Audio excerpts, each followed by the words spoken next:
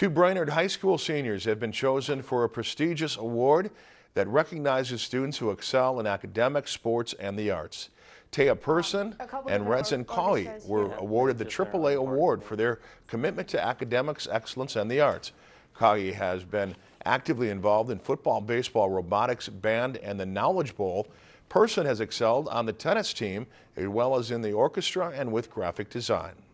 It's an award that I've heard about a lot in the past, so it's really cool to be selected for that. Um, yeah, it's just a really big honor. I think it's really cool that, um, well, I was actually the only one eligible as a male, so I thought that was really cool, and I don't know, it just made me feel really good.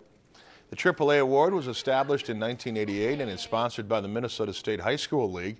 Every school in Minnesota is able to select one female and one male winner that demonstrates success and achievement in academics, athletics, and the arts.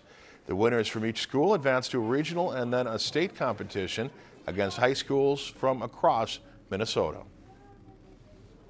I think what this award tries to do is, is capture what it means to be a really well-rounded um, high school student.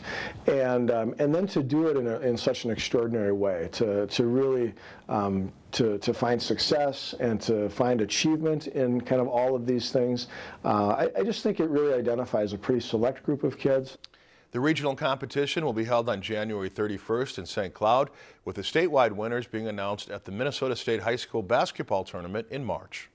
If you enjoyed this segment of Lakeland News, please consider making a tax-deductible contribution to Lakeland PBS.